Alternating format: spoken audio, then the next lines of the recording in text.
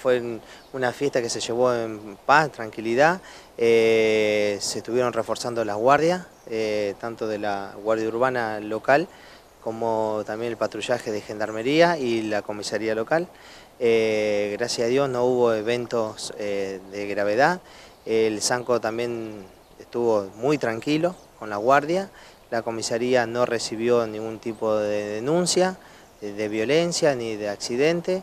Hay que destacar también que los jóvenes eh, llevaron una Navidad y un Año Nuevo muy tranquilo. Eh, el uso de pirotecnia fue muy bajo,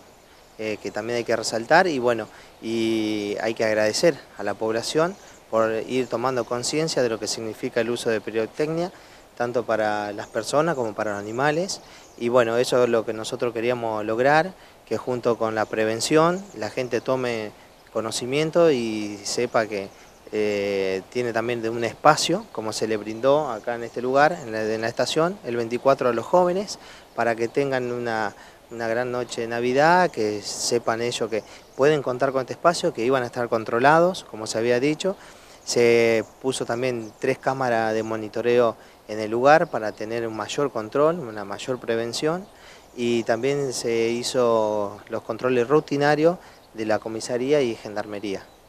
justamente con este panorama también preguntarte eh, y la evaluación que haces con el paso del tiempo de las motos incorporadas y también le permitieron justamente llegar a ustedes a una mayor tranquilidad en esta fiesta. Sí, la verdad que sí, porque se pudo dividir lo que es la Guardia Urbana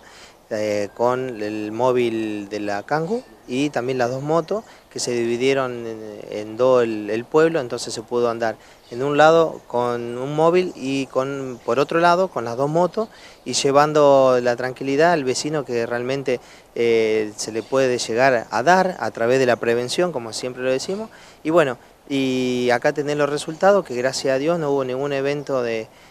características graves, así que se pudo llevar adelante unas fiestas muy tranquilas acá en San Jerónimo Sur.